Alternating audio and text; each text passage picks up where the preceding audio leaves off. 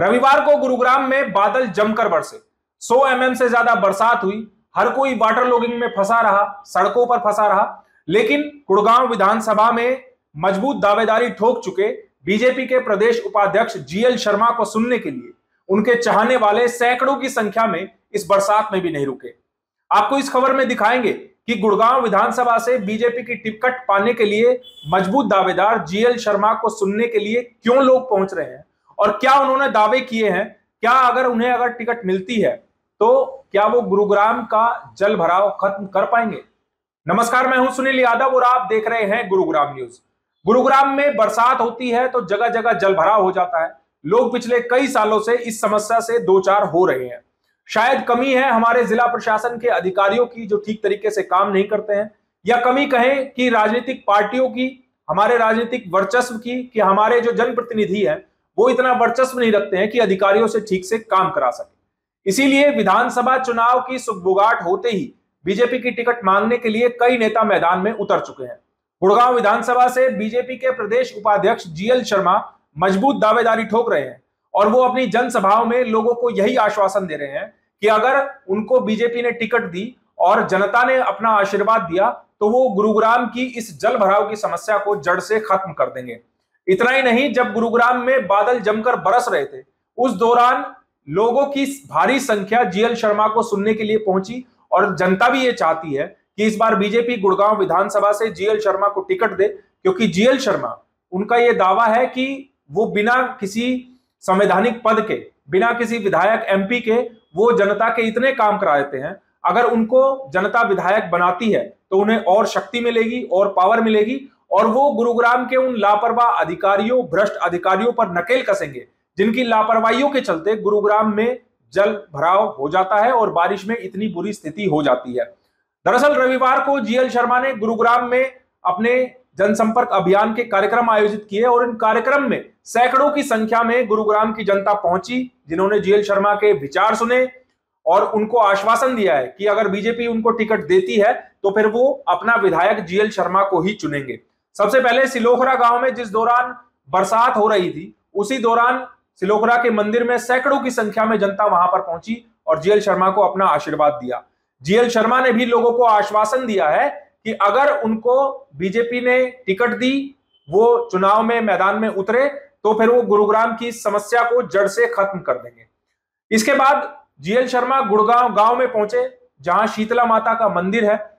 उन्होंने कहा कि माँ शीतला का उन पर आशीर्वाद है कि वो बिना किसी पद के ही लोगों के इतने सारे काम कराते हैं, लोगों की हेल्प करते हैं और वो इस बार अपने लिए माँ से कुछ मांग रहे हैं कि अगर उन्हें टिकट मिल जाती है तो वो जनता का और काम करेंगे, जनता की सेवा में अपने जीवन को लगा देंगे। जनता भी उनकी उम्मीदों के मुताबिक उनकी कार्यक्रम में शामिल होने के लिए आ रही है, उनको अपना प्यार दिखा रही है और ये आश्वासन भी दे रही है कि अगर वो टिकट ले आते हैं तो फिर उनको गुड़गांव विधानसभा से जीतने से कोई रोक नहीं सकता है। जनता का तो यहाँ तक कहना है कि बीजेपी को इस बार केवल और केवल जीएल शर्मा को ही टिकट देनी चाहिए। उन्होंने आज तक जनता के ढेर सारे काम कराए हैं और उन्हें उम्मीद है कि अगर उनको शक्ति मिलती है, विधायिका मिलती है तो फिर वो गुरुग्राम की जनता के लिए एक वरदान साबित हो सकते हैं। परमात्मा का आशीर्वाद मुझे मिल रहा है। बहुत से लोग तो ईजीएस रूप में मतलब बिल्कुल आराम, प्रस्ती, आरामदायक स्थिति में लोग कार्यक्रम करते हैं। मैं तो संघर्ष का साथी हूँ और संघर्ष करना मेरा जीवन का ध्येय बन गया। लोगों के लिए भला करना, लोगों की सेवा करना मेरा ध्येय बन चुका है। इसलिए भगवान भी मुझे साथ देते हैं और जो परीक्षा होती है उसमें मुझे पास भी कर रहे हैं। जब भी मैं गया, चाहे गांधीनगर गया, अभी यहाँ सिलोकरा में आए थे तो बहुत ज़बरदस्त बारिश आपने देखा चारों तरफ़ जल भराव है गुड़गांव में, लेकिन भारी संख्या में लोग यहाँ एकत्रित हुए। ये जनता का, ये लोगों का प्यार और आशीर्वाद मेरी तरफ़ इस बात का इशारा कर रहा है कि अब की बार भगवान की कृपा और मेरी पार्टी का साथ और सहयोग मेरे साथ बनेगा और लाखों वोटों से गुड़गांव विजय करेंगे। इन अफसरों के कानों पे जू नहीं रेंग रही, उनको मैं ये कहना चाहता हूँ, भाई, एक अभी पार्टी टिकट दे देती है, अक्टूबर में चुनाव हो जाएँगे, उसके बाद में तुम्हें पता चल जाएगा कि यहाँ का जनप्रतिनिधि कैसा बना है। तो भ्रष्ट अधिकारियों के लिए और जो चालबाज और धोखा अपनी जनता को जो अधिकारी दे रहे हैं उनको सीधा करने का काम कर रहे हैं। मैं जानता हूँ और हम करके दिखाएँगे। लोगों के माध्यम से ही ऐसे अधिकारियों को सीधा करेंगे। देखो जी शर्मा जी हमारे गाँव के हैं और अभी तक जितना मैंने उनको देखा है, ज़्यादा नहीं देखा, पर जितना देखा है तो उतना मैं कह सकती हूँ कि भाजपा के लिए बहुत से कैंडिडेट हैं और बेटियों के लिए, बच्चों के लिए, सबके लिए। वो हमेशा तैयार रहते हैं, कुछ भी हमें हेल्प चाहिए होती है तो हमेशा एक फ़ोन करो तो आपके पास हेल्प आ जाती है। तो इससे बढ़कर क्या हो सकता है? और अभी भी आपने देखा जितना अच्छा भाषण उन्होंने दिया, बताया, कैसे उन्हें इस गाँव के अलावा भी पूरा राज्य है, हरियाणा है, और हम लोग कैसे बढ़ोतरी करते जा रहे हैं, और वो हमारे साथ है तो हम लोग भी उनके साथ है इसलिए।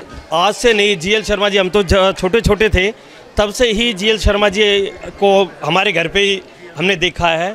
तो हमारी जो श्लोकरा की और जो बाहर भी, सारी समस्या को वो अच्छी तरह जानते हैं।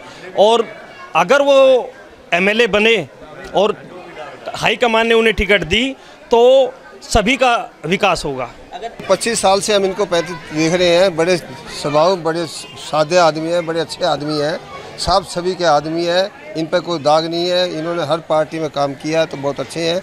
गुड़गांव में जो भी बंदा जाता है, पहले काम चाय पिलाते हैं, घर पर काम करते हैं।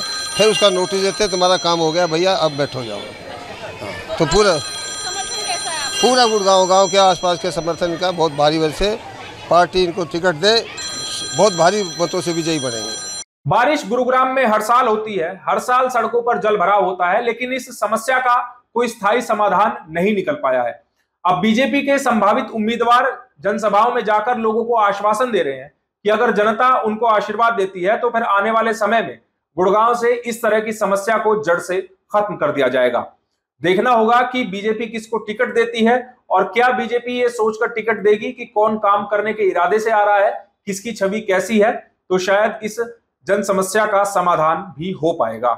इस खबर के बारे में आप हमें अपनी राय कमेंट करके ज़रूर दीजिएगा। साथ ही साथ आप इस खबर को ज़रूर शेयर कीजिएगा ताकि सभी लोगों तक सही जानकारी सही समय पर पहुँच पाए।